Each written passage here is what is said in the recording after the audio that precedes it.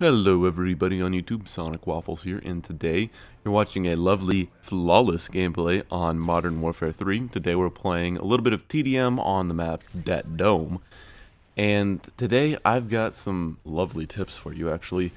Uh, you guys know that I'm not a big fan of really high scoring gameplays just because I don't get them a whole lot. Some people are just really good at getting those AC-130s really quick, and uh, playing ground war and getting 90 kills in one game, but uh, I'm not very good at that, and I'm a little bit better at getting something more consistent, which is why I think normally my my my stats kind of show that, where uh, my my KDR and win loss ratio are pretty close and they're pretty stagnant. They don't move at all.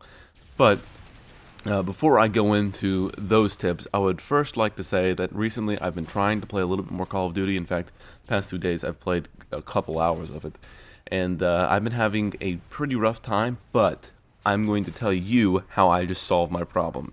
And it started with a few games of TDM. So, as you know, I'm more of an objective player. I like playing Kill Confirmed and Domination. Domination is my favorite. Okay, if I if I chose my favorite game mode, it would probably be Domination, but Kill Confirmed is also pretty high up there. So they're both objective games.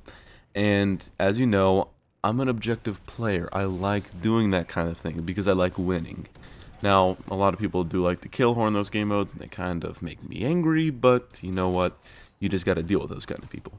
So, whenever I wanted to get back into Call of Duty and have fun on it, because I have fun on Call of Duty by doing really good, and I got lucky here. I know, I know. I only get lucky about twice in this game. Um, but, uh, if you ever want to do good in Call of Duty and just have some fun, first things you need to do is get into TDM because a lot of times, or at least for me, and I know some of my friends, like my good friend Oddjob, I know I I know he's listening. He's a good friend and listens to my videos. But I know that he's also an objective player, and if he killed Horde during a domination game, he would feel bad. And that's how I would feel. So the first thing you need to do is play TDM, because if you do end up camping and only get 15 kills and 2 deaths, then you're not going to feel bad because you actually did the objective. So you did help win for your team, and you didn't just sit there and think about yourself. So play TDM and clear your conscience. Now, the second thing you need to do is use a comfort gun. I'm using the Scar H today. You can use the ACR or any other assault rifle that you're very comfortable with.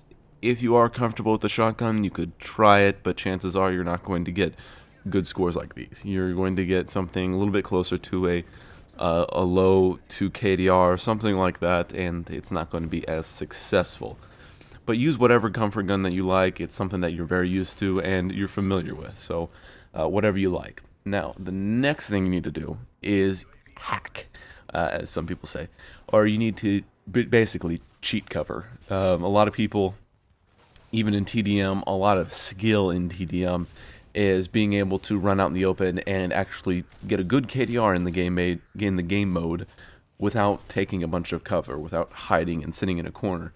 But as you can see in this gameplay, I think I just did it right there. I was up next against that wall and just barely peeking out from around it. I did the best I could to make sure that none of my body was exposed. Now, a lot of times that's cheap, but remember, you're wanting to have fun and do good. So you want to get a good successful games game play like this, then you need to do something like that and hack or cheat.